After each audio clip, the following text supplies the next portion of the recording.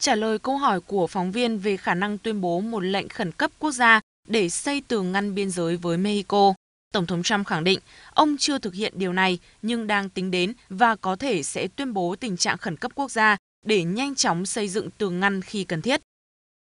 Hiến pháp Mỹ quy định quyền cấp ngân sách cho các cơ quan liên bang nằm trong tay Quốc hội. Do vậy, Tổng thống Trump có thể sẽ gặp phải những thách thức pháp lý nếu ông tìm cách qua mặt cơ quan lập pháp để lấy tiền xây tường biên giới. Tuy nhiên, ông Trump khẳng định việc tuyên bố lệnh khẩn cấp nếu được thực hiện hoàn toàn là vì an ninh quốc gia và ông được phép làm điều đó.